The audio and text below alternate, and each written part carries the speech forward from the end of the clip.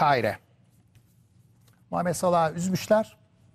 Muhammed Salah işte tamam İngiltere'de oynuyor ama çıktı vazifesini yaptı. Dünya Kupası'na katıldı. Mısır Futbol Federasyonu'nun e, ne dediyse Mısır Futbol Federasyonu'nun dediklerini yerine getirdi. Fakat kı- kızmış çünkü diyor ki tamam federasyonla birlikte ben milli takımda oynadım şudur budur ama işte milli takımda gelirken giderken görüntülerim var çekilmiş.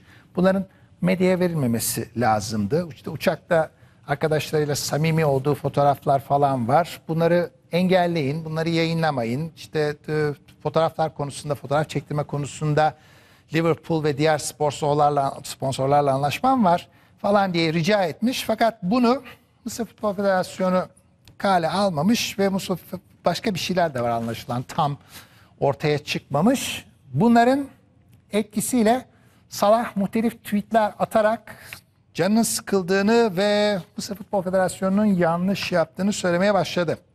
Mısır karıştı. Çünkü Muhammed Salah'ı Mısır'da seven hayli fazla. Hatta sayıya vursalar Muhammed e, Salah'ı sevenlerin sayısı Sisi'den daha fazladır. Kesin ona garantisi var.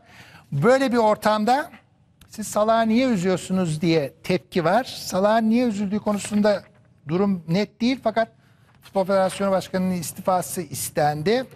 Mısır'ın bu aralar gündemi Salah'la yoğun ve de üstelik işin Kahire ve bürokrasiye ulaşması ilginç bir durum.